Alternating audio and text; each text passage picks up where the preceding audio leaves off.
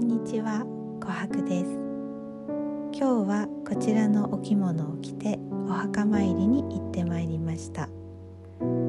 初めての夏着物でご紹介いたしましたポリエステルのストライプのお着物になります。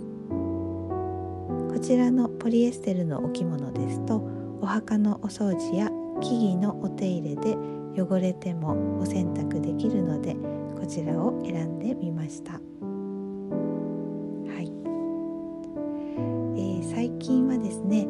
子どもの卒業入学の準備やらで少し忙しくしておりまして、えー、たまたまですね私がお着物を着ているということから卒業式をですねお着物で参加したお話をしていましたらお仕事の、えー、同僚からですね、えー、着付けを教えてほしいと言われまして一緒にお着物を着てみるなんてことにも挑戦してまいりました、えー、そのお話をいただいた時ですね私自身もですねお着物初心者だし、えー、できるかなと不安がよぎりましたがうん大好きなお着物だし私も一緒に学び楽しもうと思いお話をお受けしまして3時間一緒に練習してまいりました。お着物はですね同僚の北海道にいらっしゃるおばあ様のお着物でうん本当に素敵なお着物でした、えー、おばあ様もですねお着物を着てくれることを喜んでいるようで